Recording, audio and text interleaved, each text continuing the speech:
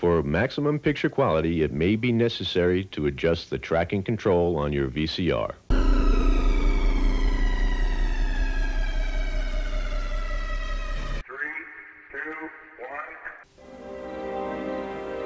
The central United States is the tornado's playground. Meteorologists come from all over the world because this is where they happen. From Texas all the way up to Nebraska and into Canada is what's known as Tornado Alley. And usually starting in early April through the summer is what they call the storm season.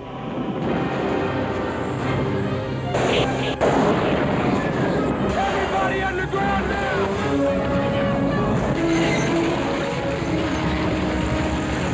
Okay, guys, here we go, please.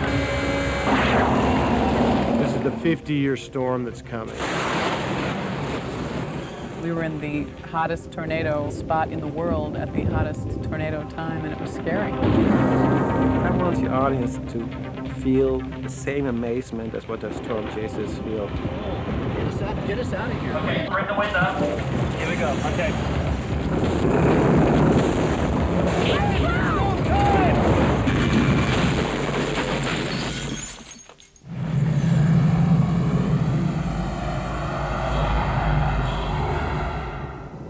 In the summer of 1995, during the heat of storm season, the director of Speed, Jan de Bont, along with producers Kathleen Kennedy, Michael Crichton, and Ian Bryce, set out to capture the dark side of nature on film. The result is Twister, the latest film from Steven Spielberg's Amblin Entertainment. It tells the story of two recently separated meteorologists, played by Helen Hunt and Bill Paxton, were brought together again by the threat of the 50-year storm, a deadly system that threatens to drop multiple tornadoes into central Oklahoma. The NSSL says the cap is breaking. Towers are going up 30 miles off the dry line. All right, let's go. I'm playing this woman who's, while everyone else is scared and running away from a storm, she wants to like see inside of it and go toward it, and fear is just not in her, in her vocabulary. For these storm chasers, it's the chance of a lifetime, an opportunity to launch a tracking device nicknamed Dorothy that can unlock the secrets inside nature's most mysterious killer.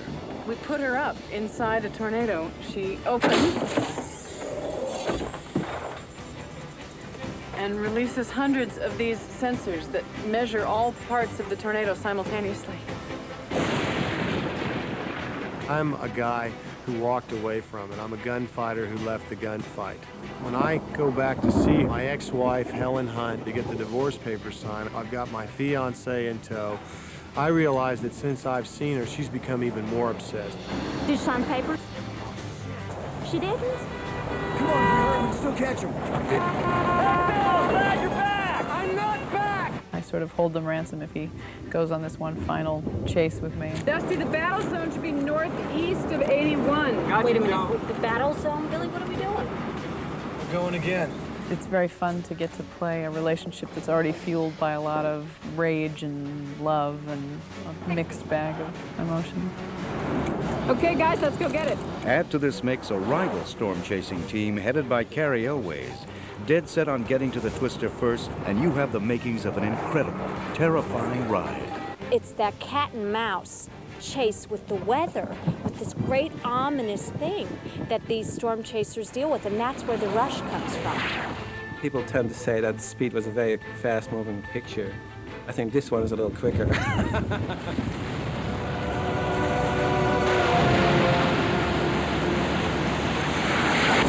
Traveling hundreds of miles throughout Tornado Alley, the line between the script, written by Michael Crichton and Anne-Marie Martin, and reality began to blur. The production found itself surrounded by the same violent weather they were portraying on screen. we could see on our portable Doppler that we had a supercell moving toward us. And in fact, not only was it moving toward us, it was literally bearing right down on us. It's exhilarating because what's happening around you is completely and totally beyond your control. The night before we started shooting, there was an awesome thunderstorm, thunder and lightning storm. And as an actor, you always hope that there'll be some omen that you were born to play the part or that you're, you know, perfectly suited. The night before this movie started, I was lying in my bed going, if there were a tornado coming, I would run the other way. Lightning came out, and man, it was the loudest storm, and it was really powerful. The idea of people going out there chasing tornadoes tells you a lot about a person. On the very same day the Twister cast and crew hit the road, their real-life counterparts, the storm chasers from Vortex, had their sights set on the real thing. An offshoot of the National Severe Storm Lab, the team of scientists was tracking a massive storm system that had formed over the Texas Panhandle just south of the production. mission today is to uh, document the near tornado thermodynamic fields. Using a caravan of 20 vehicles, two airplanes and a command vehicle manned by the team leader, Eric Rasmussen, the Vortex team was able to pinpoint the tornado's touchdown, a terrifying place where in the middle of the day, it looks like night. Uh, it's still too dangerous for us to get out. There's an adrenaline rush to doing all this. You know, some guys like to go and, and, and surf the Banzai Pipeline. Some guys are into hang gliders. These guys are into chasing tornadoes. And it's almost like chasing a rogue murderer. It's one of the most terrifying sights a human being can witness. Almost 345 degrees. tornado we saw Friday was so strong that it peeled the asphalt off of a, of a highway and threw it 600 feet out through a field. Percent telemetry, we need emergency crews here. Uh, houses have been hit over. Get us out, get us out of here. I'm serious. I know. Not only have the storm chasers of Tornado Alley begun to unravel the physics behind the violent storms, through the increased use of video cameras, they have also captured some of the most terrifying images ever seen. It was this kind of urgency combined with the excitement of discovery that Jan de Bont wanted to capture in Twister. The production became its own storm chasing unit, ready on a moment's notice to move if the weather was right, or in this case, wrong. I wanted to have this feel feel of it, almost like a documentary that like those guys are really doing. They had this one day, and in this day they have to get there, and it gives it a very unique look to the movie. We're driving due east on a country road he's been on for about six miles. We got an F-32 sitting here on the ground. Woohoo! I always feel that beauty gets in the way of the content, and I want to forget the beauty. I want to just go right to the heart of the story. We're getting slammed in here, guys. You better hang back. Time for deployment, guys. Let's do it. Sometimes when I didn't know what to do with this character, I decided I was playing Jan. Just, just focused and fearless. To recreate the violence of winds that can reach 300 miles an hour, de Bont again went for realism. Bring the wind up. Using the jet engine from a 707, massive fans, and even a turning rig that allowed Bill and Helen to be swept up by the force of the tornado. I knew reading the script it wasn't going to be, you know, like a easy picnic of a shoot. Hold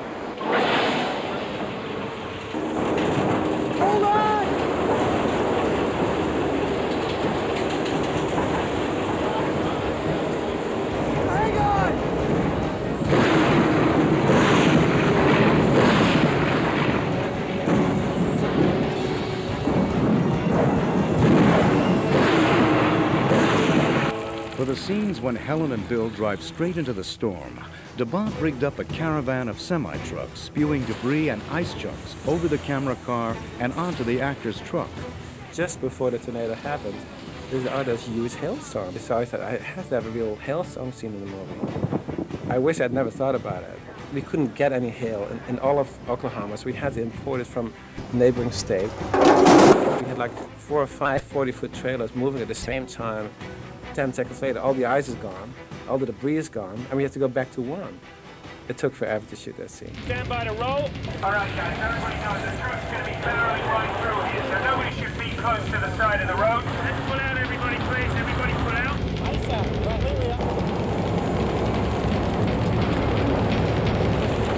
This is pretty real. I don't have to do a lot of acting in, in this movie. You know, they're raining basically chipped ice on me. They're throwing debris. I mean, although it's it's lightweight stuff, it still hits. It still hurts. It's exciting stuff. This is why I signed up. It's a very physical role. Okay, almost ready.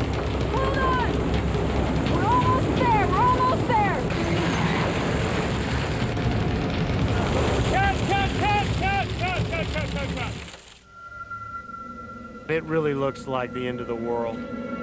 They built a set using existing buildings and buildings they built for the establishing shot and then they tore down. I'd say it was seven square blocks. And they just reduced this place to rubble. And they had got literally cars and trees. And they um, copied a lot of famous tornado photographs. For blocks and blocks and blocks, we were walking through rubble up to our knees. It was just really bizarre. We need some hanging wires, electric power lines that can spark so that when we look this way behind them, there's this shower of sparks behind them.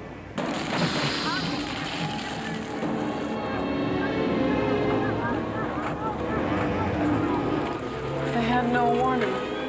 Even just to create very, very small scenes took a phenomenal amount of manpower and equipment. And it really made all of us step back and realize how nature itself can create this on such a massive scale. And we were putting all our energy into just creating what would exist in the frame. This is Topeka, Kansas, and this is the aftermath of the most destructive tornado ever to strike the state capital.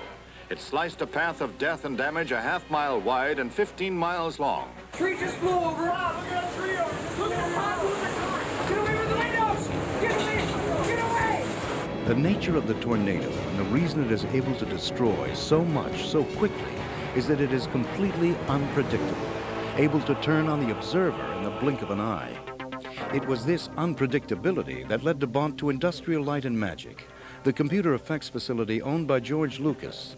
It was a rare chance to control the uncontrollable. It should be a lot lower. I wanted to make it be as realistic as possible. We have so many tapes of real tornadoes, but always, again, seen from a distance. You never see the inside of a tornado, which we hopefully going to see for the first time in this movie. It's kind of really a new wave in terms of saying we can do everything in the computer because all the cars that are flying, all the houses, you know, the, the spinning house onto the road and, and all the tanker and everything, that's all computer graphics. Are you going to make this then? The quality of computer imaging and the CGI is so incredible right now that you almost have to um, make it look like there were little mistakes in it. It's too perfect almost. We add the level of shake to it so that it builds up. The closer the tornado comes, the more intense that shake becomes.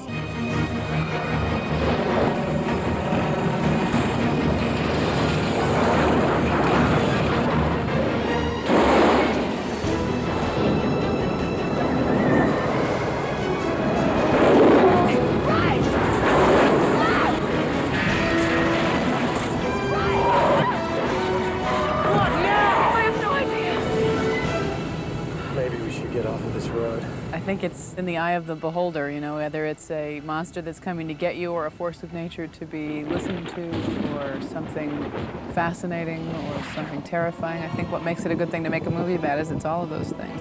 If they just get 10% of that feeling, then you still will be enormous. It will be still fantastic.